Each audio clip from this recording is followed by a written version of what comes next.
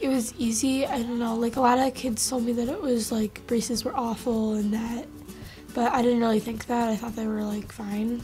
A lot of people are scared of the dentist, but I'm never really scared because I mean, like they're nice to you. They ask how you're doing. I mean, they're like, they're kind of like people you would talk to on a regular basis. They're not like kind of you don't really see them as your doctors or dentists, I guess, because they're actually like talking to you and stuff.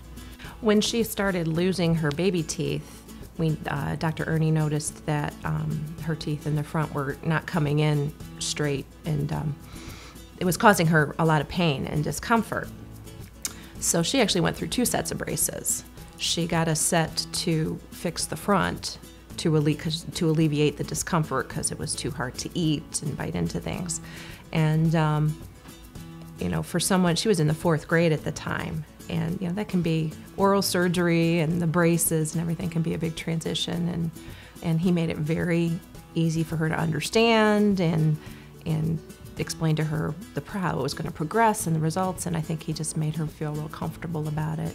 My kids are at an age where you know everybody's looking at braces and that. And they ask me where I go and I tell them I come here.